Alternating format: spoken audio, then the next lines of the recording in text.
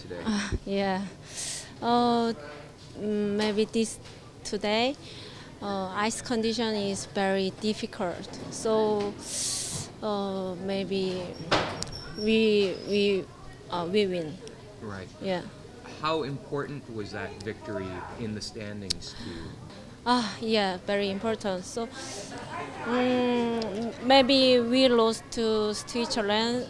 Uh, uh, maybe don't go for uh, playoff, Right. but but we win, so we hope go to playoff. Yeah, we had a really good day today, and we played some good games. And um, both the one this morning and the afternoon game was quite tight in the beginning, and then uh, we had a few good ends. So really nice.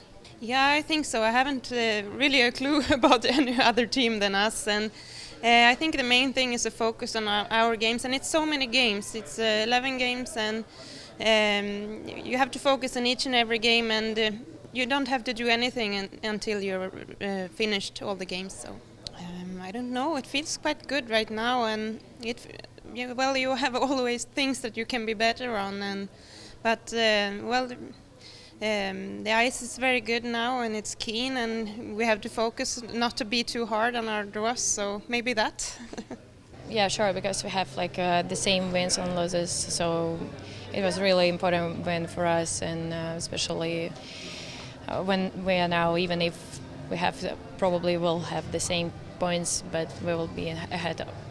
How's your team holding up physically? I mean, this has been a long, long season with the training for the Olympics, European Championship, and here. How are you holding up? Also, university games. And the so- university, yeah, that's correct. Yeah.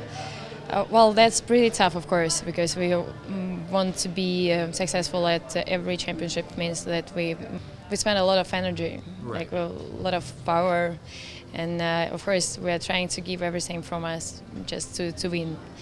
Uh, but still, uh, we have some um, desire probably to win uh, the medal. So probably that's the the main part, and uh, we'll think about our attendance just right after. Well, first of all, we, we want to get there, but then we'll see. So I know that every team makes mistakes because like this is a game, so you just have to execute at the right time. That, that's always the key.